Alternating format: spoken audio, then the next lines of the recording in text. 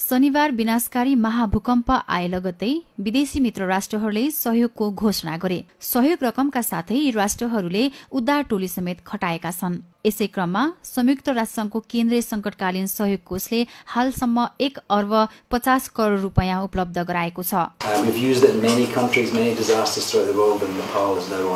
unfortunately. यसैबीच राष्ट्रसंघका महासचिव one किमुनले प्रधानमन्त्री सुशील कोइरालालाई फोन सम्पर्क गरी नेपालमा परेको प्राकृतिक विपदको समयमा नेपाललाई पर्ने आवश्यक सहयोग गर्न राष्ट्रसंघ तयार रहेको प्रतिबद्धता जनाए Bharat America Britain EU Germany France Canada Australia लगायतका मित्र राष्ट्रहरूले पनि रकम उपलब्ध गराइसकेका छन्।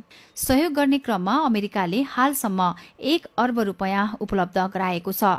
युएसएआईडी मार्फत उपलब्ध गराइएको उक्त रकम भूकम्प पीड़ितहरूको उद्धारका साथै औषधि खाद्यान्न लगायतका लागि सहयोग उपलब्ध गराइएको हो। यसैबीच जापानले हालसम्म चौरासी करोड़ रूपियाँ उपलब्ध गराएको छ।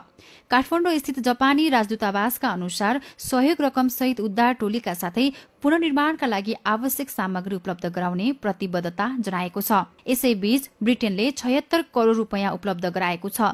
ब्रिटेन सरकारले तत्काल तीन मिलियन पाउण्ड उपलब्ध गराउने जनाउँदै दुई मिलियन पाउण्ड रेड क्रसलाई उपलब्ध गराउने जनाएको छ। हाल नेपालमा रेड क्रसका करिब पन्ध्र सय स्वयंसेवकका साथै तीन सय कर्मचारी मैदानमा जुटेका छन्।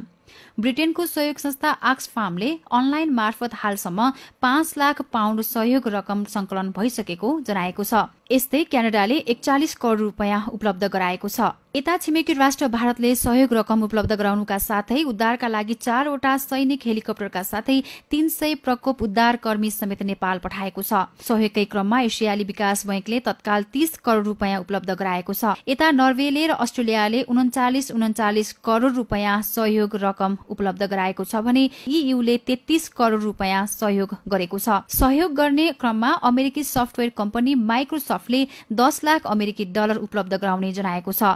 यस्तै साउदी अरेबियाका राजकुमार अलविद बिन तलालले भूकम्प पीड़ितका लागि दस करोड़ रूपियाँ सहयोग गरेका छन्।